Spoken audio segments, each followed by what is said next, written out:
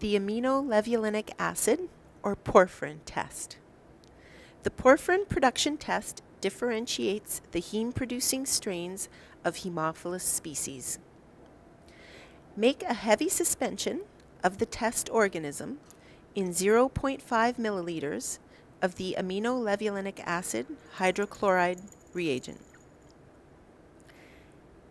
Incubate for 4 to 24 hours at 35 degrees Celsius in ambient air.